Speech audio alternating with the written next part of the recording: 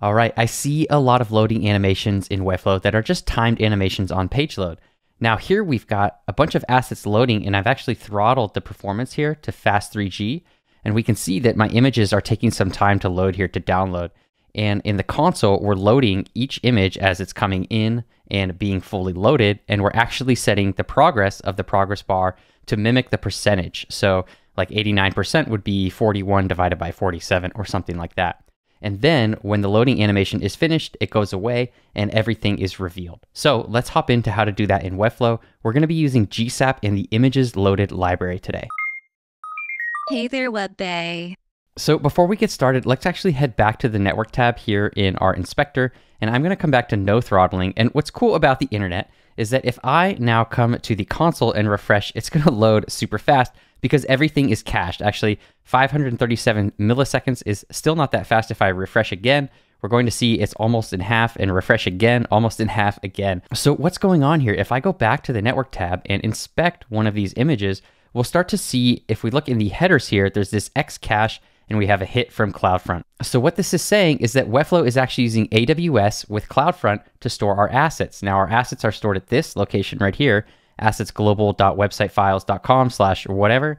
And then that is being cached using AWS, which has a CloudFront CDN in front of it. So it's getting a hit from CloudFront, and that's how things are starting to load so fast. So keep in mind that as we build this animation, your animation make it super fast. So you might want to actually put something in there to slow it down, but we'll get into that in just a second. So let's go ahead and hop into this build. Now in Webflow, I have a container and then a grid layout and then just a bunch of images inside of that grid all the way down, and that's just to try to create as much loading of images as I can. I think there's 47 here. Now to build a simple loader, we can just drop a div block on here, and it, of course it went all the way to the bottom, so let's bring it up right here. And I'm gonna call this loader wrap, just like that. And then this will get a height of 100 dynamic viewport heights, and I'm going to set it to position fixed so that it's on top of everything. So now we can go ahead and give it a background color. We'll just do full black, and we also need some width to this thing, so we'll set it to 100%. So now that's covering everything. And I'm also going to give it display flex and just center everything so that this is really easy. Now let's go ahead and drop in our percentage number and the loading bar. So I'm going to use Command K and we'll just drop in a text block just like this. And this will just set at 1% to start. And we'll call this loader text. Um, or how about loader percent? Percentage. And we'll set this to something like 10 rem. And we'll set the color to be our primary color here.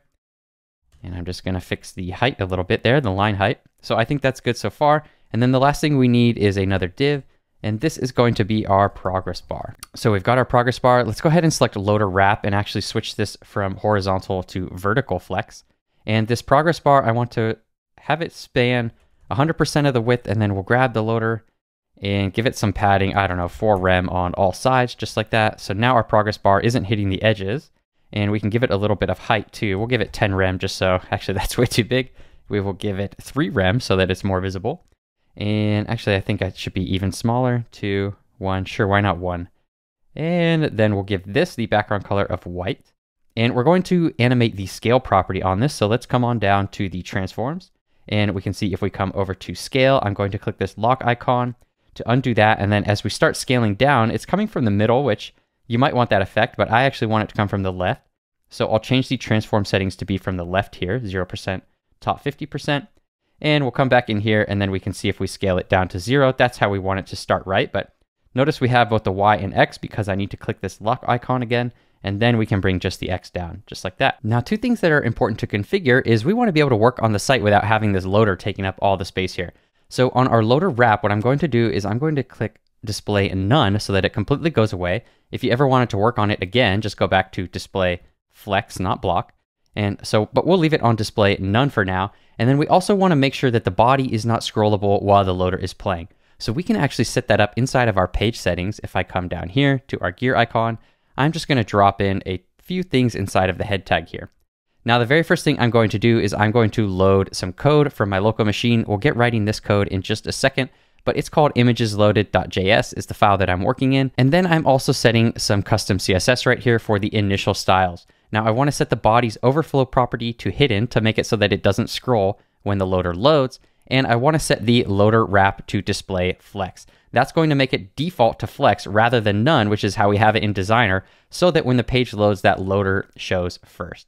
So let's go ahead and save this. Yep, so I have loader percentage here, but we need to set this to loader percent just like that. And now we can publish and get working on our code. All right, let's go ahead and get started with our code. So I'm gonna start by loading the images loaded library from Skypack CDN, and we're gonna get the GSAP library too, which we're going to use for our animations. Now I'm interested in tracking how long it takes to load all these images. So I'm going to use performance.now to create a timestamp and store it in a value start. We don't need this for the code to work, but I think it's nice to log it out to console as we're doing development work. All right, next we're going to instantiate a new instance of the images loaded class. So we're calling the constructor here using the new keyword on images loaded, which is coming from up here.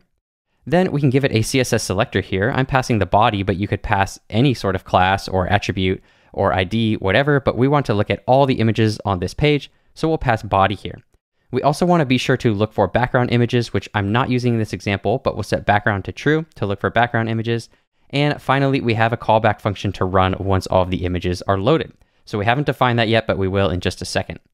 Next, we have num images. So we want to get the total number of images, which we can get from the images loaded instance, and then we get the images property on that, and then the length property on that.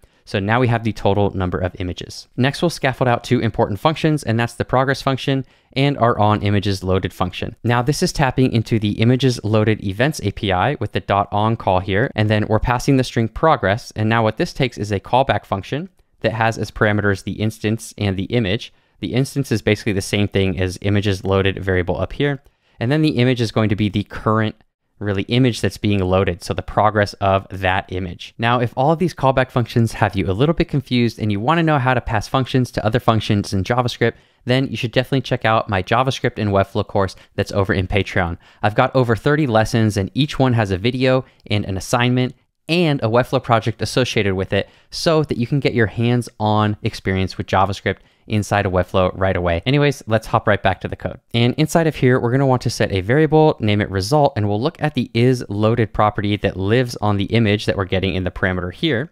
We're using a ternary now. If that returns true, then we'll go ahead and store loaded into the result variable. Otherwise, we'll return the string broken into the result variable. We can go ahead and console log this status. So we'll just get the progress count that lives on the image. So this is like image one of seven, two of seven, three of seven, and we'll just log the total number of images here and then say whether it actually loaded or broke. Next, we'll create a variable called progress, which will just be the progress count. So the image that we're working on right now divided by the total number of images. So it gives us a percent in like, if we're 30%, then this will be 0.3.